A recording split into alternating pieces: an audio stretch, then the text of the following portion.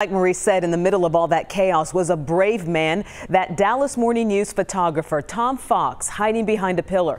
The gunman was just a few feet away, and tonight Fox shared what he was feeling in that moment. Here's Kevin Reece. Shots fired.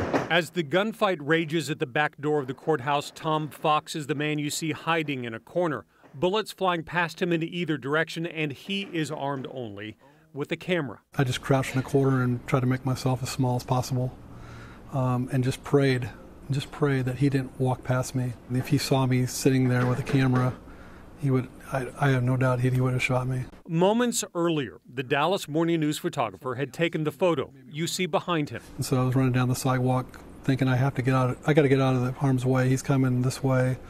I didn't want to be shot in the back, and so I just ducked into the first alcove. And that's where he stayed until the final gunfight, the Shots gunman fired. stumbling into a parking lot where he collapsed. Gunfire that lasted less than a minute. When you're sitting there and you're just you're just praying that he's not going to shoot you, it just lasts forever. Next, Tom Fox was shooting video, posted on YouTube by the Dallas Morning News. He doesn't yet know where the gunman is, doesn't know he's dead or dying in the parking lot, and that the threat is over.